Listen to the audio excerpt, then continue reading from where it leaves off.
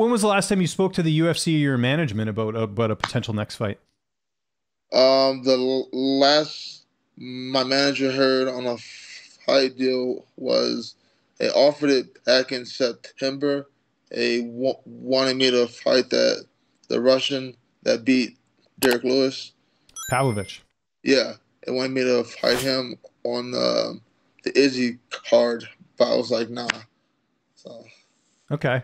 Interesting. Just because you feel like obviously like where you're ranked Yeah. and everything else and, and and all that. Okay, interesting. Yeah. Yeah. Yeah, that makes sense. Are you worried at all the UFC is upset with you for not taking the Pavlich fight? No, I mean, I hope not. I wasn't thinking about that, especially with the the news of me being the backup. It it sounds like they're seeing me as a higher value heavyweight.